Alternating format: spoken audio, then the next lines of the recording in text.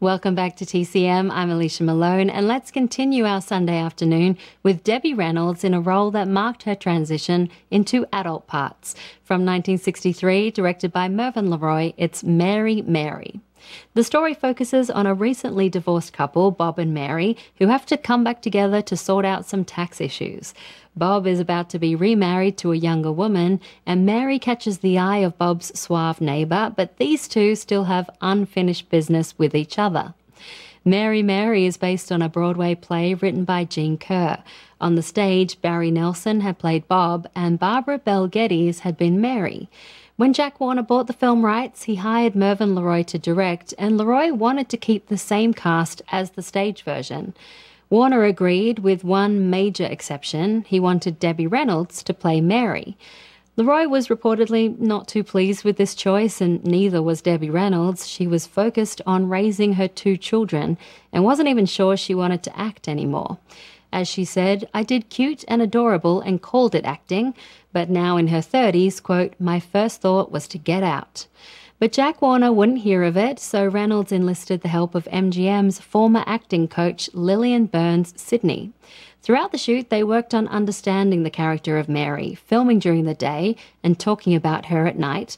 And it worked with Reynolds giving a mature performance that is still just as charming and funny as ever. From 1963, with Barry Nelson, Diane McBain, Hiram Sherman, and Michael Rennie, this is Mary Mary.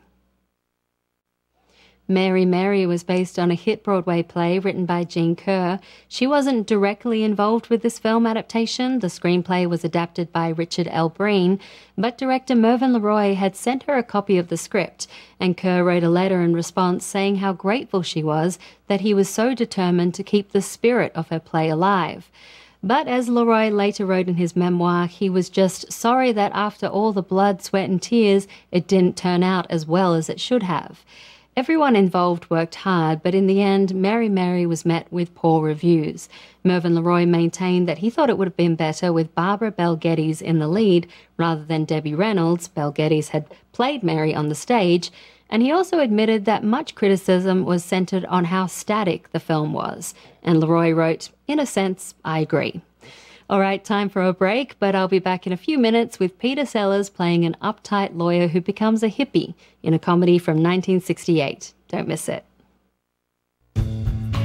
Next on TCM, I Love You, Alice B. Toklas. Then, A Little Romance. And later, Showboat. TCM can help loving Helen Morgan tonight.